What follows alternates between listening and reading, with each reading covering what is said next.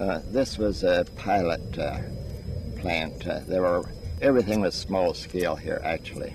Like our reactor was a flea, flea power, and uh, we were working on uh, developing different types of fuel and measuring the worth of, fuel rods as a, you know construct a fuel rod and then measure the uh, worth of it. If you're familiar with that uh, terminology, I think the company was planning to uh, uh, produce fuel rods on a larger scale, but uh, we're just experimenting with various uh, combinations of materials and fuel rods in our little reactor.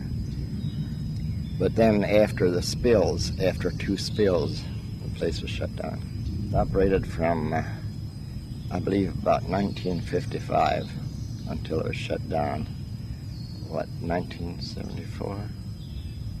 You there the whole time?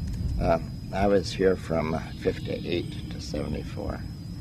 In the first place, I was down at White Plains, and uh, I worked there for a few years. Then they uh, tra- uh, they transferred me up here. I was going to be up here for about a year. I didn't like the idea of coming up here because I had been up a couple times just uh, daily uh, during the day, you know, in winter. And it was cold compared. It was about 10 degrees colder up here than down there. So I didn't go for the idea of being transferred up here. The Boss says, well, for a year you can uh, stand it. I said, okay. He said, or else. So I said, okay. After I was up here a year, they couldn't get me away. I loved the place. I got accustomed to it, you know. I had hunting, fishing.